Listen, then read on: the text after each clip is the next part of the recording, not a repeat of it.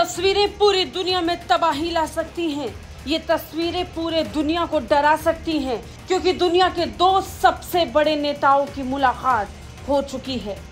एक, जो दुनिया का सबसे खूंखार तानाशाह बनकर उभरा, और दूसरा, जो दुनिया में सबसे ताकतवर राष्ट्रपति बनकर उभरा है। उन दो बड़े नेताओं की मुलाकात आज हो रही है।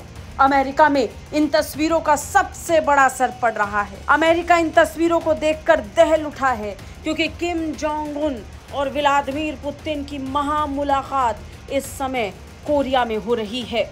रूस के राष्ट्रपति व्लादिमीर पुतिन देर रात उत्तर कोरिया पहुँच चुके हैं।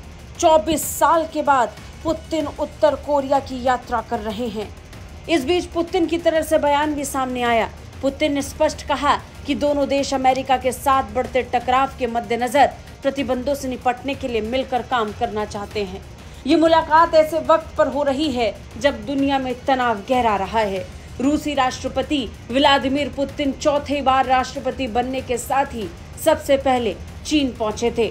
चीन पहुँचने के साथ ही उन्होंने जिनपिंग के साथ मुलाकात की और अपने दूसरे दौरे में व्लादिमीर पुतिन ने उत्तर कोरिया को चुना। उत्तर कोरिया में अपने काफिले के साथ पुतिन पहुँच चुके हैं और यहाँ पर पूरा लाभ लश्कर लेकर वो लगातार उन फैसलों की तरफ़ बढ़ते चले जा रहे हैं, जो आज इस धरती से लिए जाने हैं।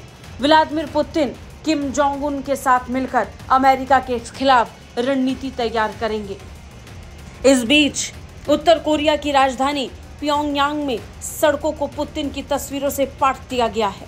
हर जगह रूसी झंडे नज़र आ रहे हैं। दोनों देशों के बीच कई समझौते भी होने वाले हैं, जिन्हें लेकर पूरी दुनिया में ज़बरदस्त बवाल मच सकता है।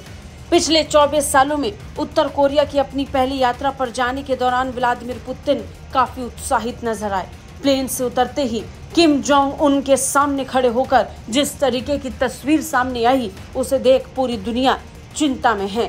अमेरिका टेंशन में है, क्योंकि अब दोनों नेता बड़ी दोस्ती निभाने के मूड में नज़र आ रहे हैं और अमेरिका की घेराबंदी करने की तैयारी में है। ब्यूरो रिपोर्ट, भारत तक